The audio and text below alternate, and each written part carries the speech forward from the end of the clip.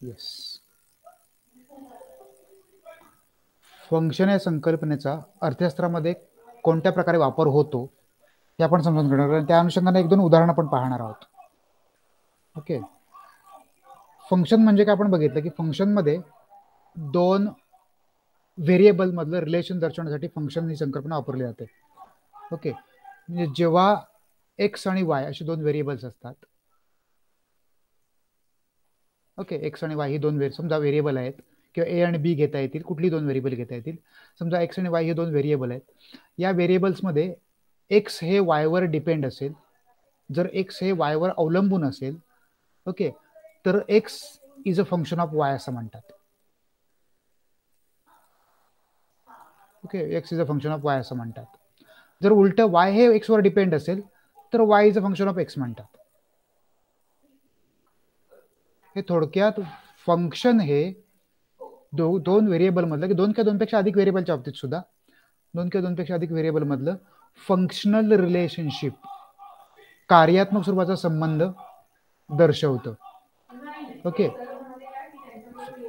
Function function हे कार्यात्मक स्वरूपाचा संबंध दर्शवतं. ठीक आहे? तर याचा इकॉनॉमिक्समध्ये संबंध कुठे कुठे येतो? ओके आपण बघितलं हे फंक्शन लिनियर फंक्शन स्वरूपात ज्यावेळेला आपण मांडतो त्यावेळेला हेच function Y equal to alpha plus beta Y beta Y अशा स्वरूपात आपण मांडतो ज्यावेळेला ते लिनियर असतं.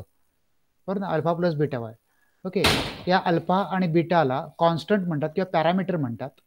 ओके आणि वाय सॉरी ए इकडं एक्स पाहिजे. आणि एक्स आणि वायला व्हेरिएबल्स म्हणतात. ओके एक्स आणि वाय ही व्हेरिएबल्स आहेत ती बदलतात. आणि हे अल्फा आणि बीटा हे कॉन्स्टंट्स असतात. ओके स्थिर असतात म्हणून त्यांना कॉन्स्टंट म्हणतात. किंवा त्याच्या व्हॅल्यू अक्वायर केलेल्या असतात म्हणून त्यांना पॅरामीटर्स सुद्धा म्हणतात. ओके अल्फा आणि बीटाला पॅरामीटर्स असं पण म्हटलं जातं. तर या स्वरूपात आपण लिनियर फंक्शन मांडतो. बरोबर आहे? आता हे लिनियर फंक्शन हे लिनियर फंक्शन ज्यावेळेला आपण मांडतो त्यावेळेला अर्थशास्त्रामध्ये असे अनेक फंक्शन्स आहेत की जी ज्याचे स्वरूप लिनियर आहे. ओके त्यामुळे या या फंक्शनचा अर्थशास्त्रामधला वापर खूप आहे. ओके आपण अर्थशास्त्रामध्ये बऱ्याच वेळा अर्थशास्त्रामध्ये आपण बऱ्याच वेळा वेगवेगळ्या प्रकारचे व्हेरिएबल्स हाताळतो. उदाहरणार्थ डिमांड अँड प्राईज ओके किंवा सप्लाय अँड प्राईज ओके अशा अनेक व्हेरिएबल्स आहेत. किंवा कन्झम्शन तुम्ही एस वायला तुम्हाला मागच्या सेमिस्टर झालेलं आहे कन्झम्शन आणि इन्कम ओके अशी एकमेकांशी रिलेट होणारी अनेक व्हेरिएबल्स आपण वापरतो. ओके डिमांड प्राईजचा संबंध आहे सप्लाय आणि प्राईजचा संबंध आहे कन्झम्शन आणि इन्क इन्कमचा संबंध आहे. बरोबर? आता ही डिमांड ज्यावेळेला प्राईजवर अवलंबून असते त्यावेळेला आपण ही मांडणी D equal to function of Y sorry function of P अशी करू शकतो. याचा अर्थ काय होतो? याचा अर्थ होतो डी हा पीवर अवलंबून आहे. डिमांड ही प्राईजवर अवलंबून आहे. बरोबर आहे? आणि यामध्ये आपण पी ला इनडिपेंडंट व्हेरिएबल असं म्हणतो. बरोबर ना? आणि आपण डी ला डिपेंडंट व्हेरिएबल असं म्हणतो. बरोबर आपण डी ला डिपेंडंट व्हेरिएबल असं म्हणतो. आणि पी ला इनडिपेंडंट व्हेरिएबल असं म्हणतो. ओके इंडिपेंडंट का? कारण पीची व्हॅल्यू आपण घेतो आणि त्याच्या आधारावर डीची व्हॅल्यू काढत असतो. कारण डी हे पी मुळे प्रभावित होत असतं किंवा पीचा डीवर प्रभाव पडत असतो. ओके? म्हणून हे इनडिपेंडंट व्हेरिएबल आणि हे डिपेंडंट व्हेरिएबल त्यामुळे फंक्शन मांडताना नेहमी आपण उजव्या बाजूला इनडिपेंडंट व्हेरिएबल घेतो आणि डाव्या बाजूला डिपेंडंट व्हेरिएबल घेतो. ओके? अवलंबून असणारं चल घेतो आणि उजव्या बाजूला इनडिपेंडंट व्हेरिएबल की स्वतंत्र जी चल आहेत ती घेतो. ओके? त्यामुळे हे अर्थशास्त्रामधलं हे नेहमीचं फंक्शन आपल्या परिचयाचं आहे. आपल्यापैकी सगळ्यांनीच अभ्यासलेलं आहे कुठे ना कुठे. D D is equal to function of P किंवा सप्लाय फंक्शन सुद्धा. S is equal to function of P हे फंक्शन सुद्धा आपल्या परिचयाचं आहे. बरोबर याचा अर्थ काय होतो? तर सप्लाय हा पी वर अवलंबून आहे. त्यामुळे पी हे इनडिपेंडंट व्हेरिएबल एस हे डिपेंडंट व्हेरिएबल आपल्याला आता माहिती आहे की अर्थशास्त्रामध्ये ज्यावेळेला आपण अभ्यास करतो त्यावेळेला हे समीकरण किंवा हे फंक्शन ज्यावेळेला आपण डिमांड फंक्शन बघतो किंवा मागणी या फलाचा विचार करतो. त्यावेळेला आपल्याला माहिती आहे की मागणी ही फक्त काही प्राईजवर अवलंबून नसते. ओके मागणी अनेक घटकांवर अवलंबून असते. की सप्लाय सप्लाय हा काय फक्त किमतीवर अवलंबून असतो. सप्लाय हा सप्लाय किंवा पुरवठा अनेक घटकांवर अवलंबून असतो. ओके परंतु मॅथमॅटिकल फॉर्ममध्ये सिम्प्लिसिटी आणण्यासाठी ओके सोपेपणा आणण्यासाठी नेहमी फंक्शन ही संकल्पना लिमिटेड स्कोपमध्ये व्यक्त केली जाते. ओके कसं होतं? वस्तूच्या मागणीवर परिणाम करणारे किमतीच्या व्यतिरिक्त अनेक घटक आहेत. बरोबर आपल्याला माहिती आहे. वस्तूची किंमत तर आहेच उपभोक्त्याचं उत्पन्न आहे.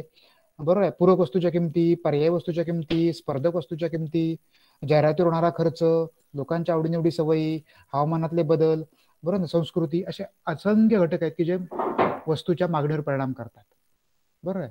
परंतु या सगळ्या घटकांचा एकत्रित विचार करायचा म्हटला तर फंक्शन या सामान्य संकल्पना तो होत नाही की करता येत नाही. ही फंक्शन ही संकल्पना आपण ज्यावेळेला एक्सटेंडेड स्वरूपात मांडतो त्यावेळेला ती करता येते. परंतु आपल्याला आता इथे ते बघायचं नाहीये. आपण ते एक्सटेंडेड स्वरूप आपण फंक्शन ही सिंपल संकल्पना आपण बघतो आहोत. प्राथमिक स्वरूपाची संकल्पना आपण बघतो आहोत. ओके त्यामुळे फंक्शन ही संकल्पना आपण बघत असताना इथं आता लिमिटेड स्कोपमध्ये बघतोय. म्हणून आपण इंडिपेंडंट व्हेरिएबल एकच घेतले ऍक्च्युली फंक्शन संकल्पना आपण इंडिपेंडंट व्हेरिएबल अजून वाढू शकतो. उदाहरणार्थ डी हे फंक्शन आता म्हटलं तसं D is equal to function of function of P म्हणजे प्राईज बरोबर ना? उपभोक्त्याचं उत्पन्न म्हणजे आय बरोबर आहे? स्वल्पविराम स्पर्धक वस्तूची किंमत म्हणजे आपण त्याला काहीतरी एक नाव देऊया. पी सी कॉम्पिटेटिव्ह कमॉडिटी म्हणून. ओके त्यानंतर जाहिरात होणार होणारा खर्च म्हणून त्याला आपण काहीतरी एक नाव देऊया. ओके ऍडव्हर्टाईज ए ओके असे अनेक घटक असतात. लोकांच्या आवडी निवडी सवयी वगैरे वगैरे वगैरे असे अनेक घटक असतात. ओके या सगळ्यांचं डी हे फंक्शन असतं. वस्तूची मागणी हे फंक्शन असतं. ओके परंतु हे सगळे घटक जे आहेत आपण नेहमी अर्थशास्त्रामध्ये सुद्धा बघा विश्लेषण करताना आपण हे सगळे घटक स्थिर आहेत असं गृहित धरतो आणि एकाच घटकाचा विचार करतो. म्हणजे उदाहरणार्थ मागणीचा मागणी पुरवठ्याचा नियम. मागणी पुरवठ्याचा साधा सिंपल नियम आपण जो पूर्वी अभ्यासला आहे तुम्हाला आठवत असेल की जिथे आपण इतर त्या मागणी पुरवठ्याचा नियमच आपण असं म्हणतो की इतर सर्व घटक स्थिर असताना वस्तूची किंमत बदलली असता मागणी बदलते. की वस्तूची किंमत वाढली असता मागणी कमी होते आणि वाईस वरचा म्हणजे त्याच्या विरुद्ध. बरोबर ना? तर आपण हे सगळे घटक स्थिर आहेत असं गृहित धरतो. ओके म्हणजेच हे फंक्शन आपण व्याख्या करताना सुद्धा लिमिटेड स्कोपमध्ये व्यक्त करतो. तसंच फंक्शन ही संकल्पना बेसिक पातळीवर समजावून घेत असताना हे फंक्शन आपल्याला लिमिटेड स्कोपमध्ये व्यक्त करावं लागतं. म्हणून आपण अशा प्रकारे D is equal to function of P अशा प्रकारे ते व्यक्त करतो. ओके किंवा सप्लाय फंक्शन सुद्धा अनेक घटकांवर अवलंबून असतं पण लिमिटेड स्कोपमध्ये ते S is equal to function of P अशा प्रकारे ते मांडलं जातं. किंवा consumption expenditure is function of income C equal to function of I अशा रूपात आपण हे फंक्शन मांडतो. बरोबर ना? आता ही फंक्शन ज्यावेळेला आपण मॅथमॅटिकल फॉर्ममध्ये मांडायला जातो. ओके हे फंक्शन ज्यावेळेला आपण मॅथमॅटिकल फॉर्ममध्ये म्हणजे लिनियर फंक्शनच्या स्वरूपात मांडायला जातो. कारण ही ज्यावेळेला आपण ही फंक्शन्स पुढे जाऊन उपयोगात आणण्याचा प्रयत्न करतो प्रत्यक्षात वापरण्याचा प्रयत्न करतो त्यावेळेला ही फंक्शन्स या फंक्शन्स मधलं जे डिपेंडंट व्हेरिएबल आहे उदाहरणार्थ इथे डी किंवा इथे एस किंवा इथे सी ही जी डिपेंडंट व्हेरिएबल आहेत ती वेगळ्या घटकांवर अवलंबून असतात वेगळ्या घटक कंपोनंटवर अवलंबून असतात. हे सगळे घटक आपण स्थिर स्थिर आहेत असं गृहित धरतो. आणि एकच त्यातला घटक विचारात घेऊन आपण विश्लेषण करतो त्यात किंवा त्याचा मॅथमॅटिकल फॉर्मॅट मांडत असतो. ओके त्यामुळे डी फंक्शन एस फंक्शन किंवा सी फंक्शन ही अर्थशास्त्रामधली फंक्शन आपण लिनियर फंक्शनच्या फॉर्ममध्ये मांडू शकतो. ओके उदाहरणार्थ आपण सी फंक्शन आपल्याला माहिती आहे. आपण यापूर्वी सी फंक्शन केन्सनं स्वतःच मांडून दाखवलंय. काय आहे ते? C equal to alpha plus beta Y तुम्हाला आठवत असेल. C equal to alpha plus beta Y okay यामध्ये त्यांनी बीटा म्हणजे काय म्हटलं होतं? ओके यामध्ये अल्फा प्लस बीटा वायमध्ये काय त्यांनी बीटा म्हणजे काय म्हटलं होतं? ओके म्हणजे इथं आता आपण C equal to function of alpha plus beta Y function घेऊया. एक लिनियर फॉर्ममध्ये मांडलेलं आणि तुम्हाला माहीत असणारं फंक्शन म्हणून मी घेतोय. ओके डी आणि एस फंक्शन पण घेता येतील ते नंतर बघू. ओके आता C equal to alpha plus beta हे लिनियर फॉर्ममध्ये मांडलेलं फंक्शन आहे. बरोबर आहे? आता याच्यामध्ये अल्फा आणि बीटा हे पॅरामीटर्स आहेत. ओके किंवा कॉन्स्टंट्स आहेत. आणि सी आणि वाय हे व्हेरिएबल्स आहेत. त्यापैकी सी हे काय डिपेंडंट व्हेरिएबल आहे आणि वाय हे इनडिपेंडंट व्हेरिएबल आहे. इनडिपेंडंट म्हणजे स्वतंत्र. ते कोणावर अवलंबून नाहीये. मात्र हे अवलंबून आहे. कोणावर? वायवर ओके त्यामुळे सी हे डिपेंडंट आणि वाय इंडिपेंडंट व्हेरिएबल आहे. ओके आणि अल्फा आणि बीटा हे पॅरामीटर्स आहेत. आता ह्या पॅरामीटर्समध्ये लक्षात घ्या आपण हा जो वक्र काढतो ओके हा जो वक्र काढतो सामान्यतः अशा प्रकारचा वक्र येतो. ओके अशा प्रकारचा वक्र येतो. ओके तुम्हाला माहिती आहे कन्झम्पशन फंक्शनचा वक्र यापूर्वी आपण काढून बघितलेला आहे डिमांड फंक्शन सारखा. सॉरी सप्लाय फंक्शन सारखा. ओके यापूर्वी आपण का काढून बघितलेला आहे. केन्सचं कन्झम्पशन फंक्शन तर हा वक्र सामान्यतः अशा प्रकारचा येतो. ओके यातला हा जो हा वक्र जिथे वायक्षाला छेदतो तो शून्य बिंदूपासून त्याचं जे अंतर आहे त्याला इंटरसेप्ट असं म्हणतात. ओके याला इंटरसेप्ट ओके इंटरसेप्ट त्याला इंटरसेप्ट म्हणतात. ओके हा जो पोर्शन आहे हा मैरपी कंस काढलाय मी. ओके याला इंटरसेप्ट असं म्हणतात. ओके जिथून फंक्शन सुरू होतं. हा अल्फा जो आहे हा अल्फा इंटरसेप्ट दर्शवतो.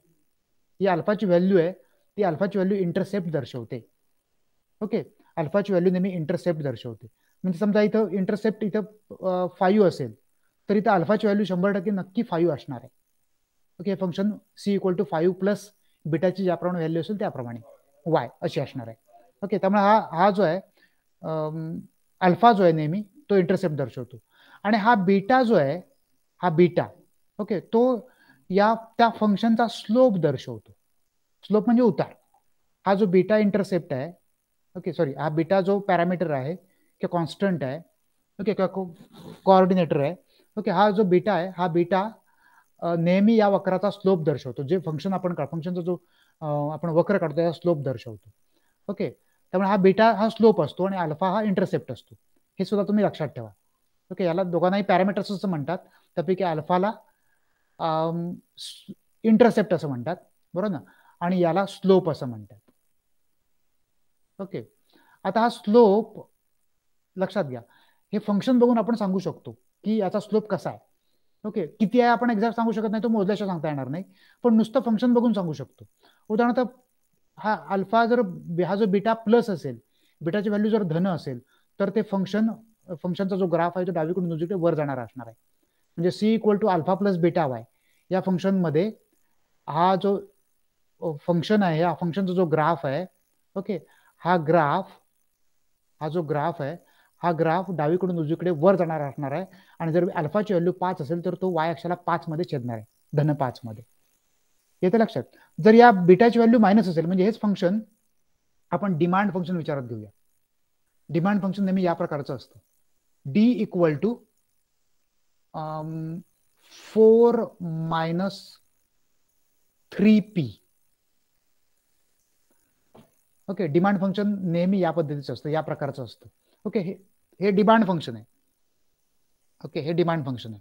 आता डिमांड फंक्शनमध्ये आल फोर फोर हा काय? इंटरसेप्ट आहे. इंटरसेप्ट म्हणजे काय? तर हा जो ग्राफ आहे तो ग्राफ कुठे कुठे छेदणार आहे? ओके हा इंटरसेप्ट सांगतो. याचा अर्थ हा ग्राफ या उभ्या अक्षावर चार या ठिकाणी छेदणार आहे. समजा इथे चार असतील. ओके. आपण असं गृहित धरूया. ओके. इथे समजा चार आहेत. ओके तर हा ग्राफ चारला छेदणार आहे. आणि हा जो मायनस थ्री आहे हा मायनस थ्री काय स्लोप आहे त्या ग्राफचा. आणि हे फंक्शन लिनियर आहे. आपल्याला माहिती आहे फंक्शन लिनियर आहे. ओके त्यामुळे एक सरळ रेषा आहे. आणि हा मायनस थ्री जो आहे तो स्लोप आहे. त्यामुळे हा ग्राफ खाली डावीकडून उजवीकडे उतरत जाणार असणार आहे. त्याचा उतार मायनस आहे. त्या अर्थी हा ग्राफ अशा प्रकारे डावीकडून उजवीकडे उतरत जाणार आहे.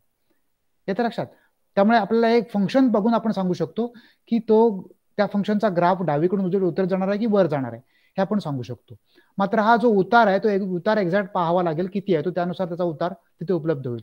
आता उतार कशावरून ठरतो हे पण आपण समजावून घेऊया. ओके फंक्शन मधल्या या बेटाच्या व्हॅल्यूवरून आपल्याला उतार कळतो. बीटाची व्हॅल्यू प्लस असेल तर त्या फंक्शनचा ग्राफ निश्चितपणे डावीकडून उजवीकडे वर जाणार असणार आहे. बीटाची व्हॅल्यू जर मायनस असेल तर त्या फंक्शनचा ग्राफ निश्चितपणे डावीकडून उजवीकडे खाली येणार असणार आहे. डिमांड फंक्शन सारखा. बरोबर आहे? आता ह्याचा उतार कसा मोजायचा? तर उतार मोजण्याचा मॅथमॅटिक्समध्ये एक सिंपल फॉर्म्युला आहे. ओके ग्राफचा ग्राफवरच्या कुठल्याही बिंदूचा उतार मोजायचा असेल.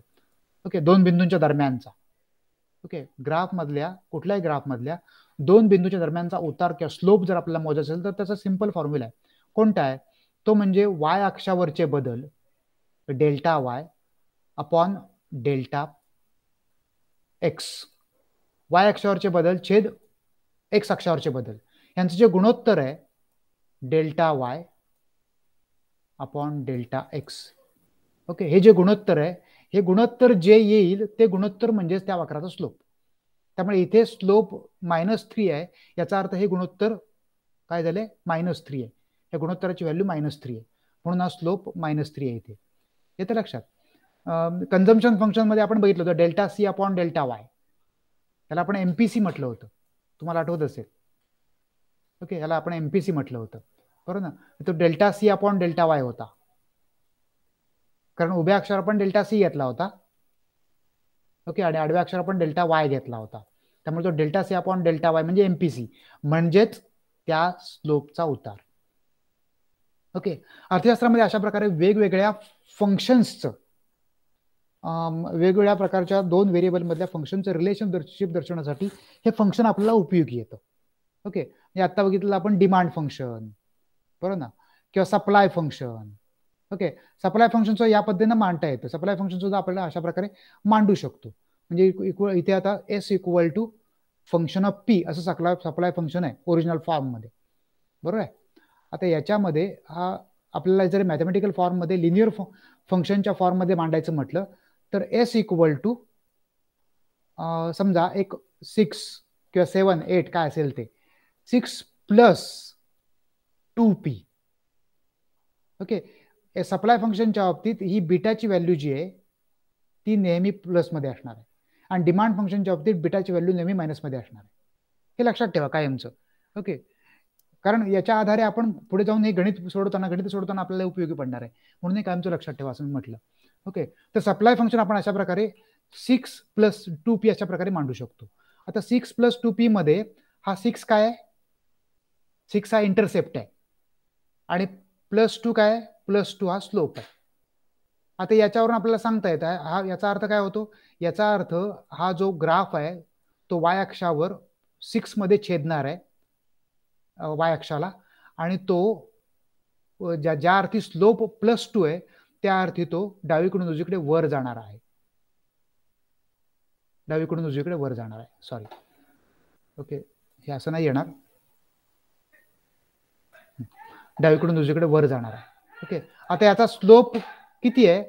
तर याचा अर्थ याचा स्लोप टू आहे. याचा अर्थ असा होतो की एक्स अक्षावर जे बदल होतात त्याच्या दुप्पट बदल वाय अक्षा वाय अक्षावर होतात. असा अर्थ आहे. ओके. वाय एक्स अक्षावर जे बदल होतात त्याच्या दुप्पट बदल वाय अक्षावर होतात. म्हणून तो प्लस टू आहे. ओके अशा प्रकारे आपण सप्लाय फंक्शन मांडू शकतो. ओके. ही झाली अर्थशास्त्रामधल्या लिनियर फंक्शनची उदाहरणं. ओके. अशाच प्रकारे अर्थशास्त्रामध्ये काही फंक्शन ओके. ही क्वाड्रॅटिक आहेत. काही फंक्शन क्युबिक सुद्धा आहेत. ओके. क्वाड्रॅटिक फंक्शन कोणती आहेत? अर्थशास्त्रामध्ये क्वाड्रॅटिक फंक्शन कोणती आहेत? तुमच्या अनेक जण अर्थशास्त्राचे विद्यार्थी आहेत त्यांना माहिती असणार आहे. क्वाड्रॅटिक फंक्शन कसं कोणती आहेत अर्थशास्त्रामधली? कसं सांगता येईल? ते ग्राफच्या आकारावरून सांगता येतं. क्वाड्रॅटिक फंक्शनचा ग्राफ कसा येतो? यू आकाराचा येतो. बरोबर ना? क्वाड्रॅटिक फंक्शनचा ग्राफ यू आकाराचा असतो माहिती आहे आपल्याला. तो असा सरळ यू असेल किंवा आडवा यू असेल उलटा असेल कसाही असेल. आता अर्थशास्त्रामध्ये कोणते ग्राफ यू आकाराचे असतात? अर्थशास्त्रामध्ये कोणते ग्राफ यू आकाराचे असतात? सामान्यतः खर्चाचे ग्राफ जे आहेत मायक्रो इकॉनॉमिक्स मधले ओके सूक्ष्मरक्षी अर्थशास्त्रामधले जे खर्चाचे ग्राफ आहेत ते सगळे यू आकाराचे आहेत. ओके म्हणजे सीमांत खर्च मार्जिनल कॉस्ट सरासरी खर्च बरोबर ना? ॲव्हरेज टोटल कॉस्ट बरोबर ना? की average variable cost A V C okay हे सगळे खर्च वक्र हे कसे आहेत? यू आकाराचे आहेत. बरोबर ना? हा सीमांत खर्चाचा वक्र असा येतो. सरासरी खर्चाचा वक्र असा येतो. बरोबर आहे? सरासरी बदलत्या खर्चाचा वक्र अशा प्रकारचा येतो. बरोबर आहे? हे सगळे वक्र यू आकाराचे आहेत. त्यामुळे हे मायक्रो आपण जे सगळे उत्पादन साधनांचं संतुलन उत्पादन पेढ्यांचं संतुलन बघत असताना आपण जे वक्र वापरतो हे सगळेचे सगळे वक्र यू आकाराचे आहेत याचाच अर्थ काय होतो? ही सगळी फंक्शन क्वाड्रॅटिक आहेत. बरोबर आहे? अर्थशास्त्रामधली खर्चाची सगळी फंक्शन जी क्वाड्रॅटिक आहेत. म्हणजे उदाहरणार्थ आपण समजा मार्जिन समजा ॲव्हरेज टोटल कॉस्टचं जर फंक्शन घेतलं तर ते C equal to average total cost AT C हे फंक्शन घेतलं. तर C equal to function of Q Q म्हणजे नगरसंख्या उत्पादित नगरसंख्या. ओके कारण ते उत्पादित नगरसंख्येवर अवलंबून असतो. उत्पादित नगरसंख्या वाढत गेली की खर्च वाढत जातो. उत्पादन नगरसंख्या कमी असेल तर एकूण खर्च कमी होतो. आणि त्याप्रमाणे सरासरी खर्च सुद्धा उत्पादन संख्या वाढत गेली गेली की कमी कमी होत जातो. सुरुवातीला वाढत जातो सुरुवातीला कमी होतो नंतर वाढतो. की त्यामुळे तो आपल्याला यू आकाराचा दिसतो. त्यामुळे हे फंक्शन हे जे फंक्शन आहे एटीसी हे फंक्शन हे खर्चाचं फंक्शन आहे आणि ते क्वाड्रेटिक आपल्याला माहिती आहे. त्यामुळे याचा ग्राफ हा नेहमी यू आकाराचा येणार. आणि त्यामुळे हे लिनियर फॉर्ममध्ये येणार नाही हे क्वाड्रेटिक फॉर्ममध्ये येणार. त्यामुळे हे फंक्शन एटीसी फंक्शन हे नेहमी क्यू स्क्वेअर प्लस थ्री स्क्यू थ्री क्यू प्लस किंवा मायनस टू या पद्धतीमध्ये येणार. ओके? हे फंक्शन नेहमी या पद्धतीमध्ये येणार. कुठल्या पद्धतीमध्ये? तर क्वाड्रेटिक फंक्शन क्वाड्रेटिक पद्धतीमध्ये येणार. ओके? त्यामुळे क्वाड्रेटिक फंक्शन जर तुम्हाला विचारलं गेलं तर आणि ते मांडायची जर तुमच्यावर वेळ आली तुम्हाला क्वाड्रेटिक फंक्शन मांडायचं सांगितलं मॅथमॅटिकल फॉर्ममध्ये तर ते या पद्धतीने मांडावं लागेल. Q square plus three Q plus two किंवा Q square minus three Q म्हटलं तरी चालेल. फक्त क्यू स्क्वेअर मायनस नाही होणार इथे आता okay Q square minus minus होत असेल तर ते असं उलट होणार ते. ओके आपण आता फक्त खर्च फंक्शनचा विचार करतोय ओके तर हे खरं कॉस्ट फंक्शन जे आहे मायक्रो मधली कॉस्ट फंक्शन म्हणतोय मी. ओके मायक्रो मधली नव्हे मायक्रो मधली. ती कॉस्ट फंक्शनची सगळी ग्राफिंग जी आहे आणि सगळी फंक्शनची कशी आहेत क्वाड्रॅटिक आहेत. यापूर्वी बघितले डिमांड फंक्शन त्यानंतर सप्लाय फंक्शन आणि त्यानंतर कन्झम्पशन फंक्शन ही फंक्शन जी आपण बघितली मायक्रोमधली आणि मॅक्रोमधली कन्झम्पशन फंक्शन फंक्शन हे मॅक्रोमधलं होतं आणि डिमांड अँड सप्लाय ही मायक्रोमधली होती. ही जी सगळी आपण फंक्शन बघितली. ही सगळी फंक्शन कशी आहेत? लिनियर फंक्शन्स आहेत. मात्र कॉस्ट फंक्शन जी आहेत मायक्रोमधली ती सगळी क्वाड्रेटिक फंक्शन्स आहेत. Okay cubic function cubic function कोणती आहेत? कसं सांगता येईल? ओके क्युबिक फंक्शनचा ग्राफ कसा असतो यावरून सांगता येतं बघा. क्युबिक फंक्शनचा ग्राफ कसा असतो? क्युबिक फंक्शनचा ग्राफ हा उलट्या किंवा सरळ एस आकाराचा असतो. असा असतो. बरं ना? आणि अशा प्रकारच्या आकृत्या इकॉनॉमिक्समध्ये कुठे येतात? तर सामान्यतः ट्रेड सायकल जी आहेत व्यापार चक्र. ओके तुम्हाला आता मला वाटतं मायक्रो मायक्रो मायक्रो कुठेतरी ट्रेड सायकल आहे बहुतेक. ओके हे ट्रेड सायकल जी आहे त्याचा ग्राफ नेहमी अशासारखा येतो. आणि त्यामुळे ट्रेड सायकलची जी फंक्शन्स आहेत ही मॅथमॅटिकल फॉर्ममध्ये मांडायची म्हटली तर ती क्युबिक फंक्शन क्युबिक फॉर्ममध्ये मांडावी लागतात. ओके ट्रेड सायकल जर असेल त्याचं फंक्शन मांडवायचं असेल तर टी सी इक्वल टू काय असेल ते? सीचा C raise to three plus C raise to two plus two C minus one वगैरे वगैरे अशा प्रकारे ती मांडावी लागतात. ओके कसली? क्वाड्रेटिक फंक्शनची सॉरी क्युबिक फंक्शन ट्रेड सायकलची फंक्शन ओके तर अशा प्रकारे फंक्शन संकल्पना अर्थशास्त्रामध्ये खूपच महत्वाची आहे आणि खूपच आवश्यक अशी संकल्पना आहे. ओके अर्थशास्त्राशी संबंधित ही संकल्पना कशा प्रकारची आहे हे आपण आता बघितलं. की फंक्शन संकल्पना अर्थशास्त्राशी कशा प्रकारे संबंधित आहे आणि कोणतं फंक्शन कसं व्यक्त करायचं हे आपण आता समजावून घेतलं. ओके पुढच्या लेक्चरला आपण या याच्यावरची उदाहरणं पाहणार आहोत. ओके